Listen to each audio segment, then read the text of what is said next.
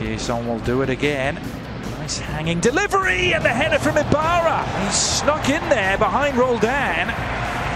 Who in the coming side. So there's no communication from Alex Roldan and Nouhou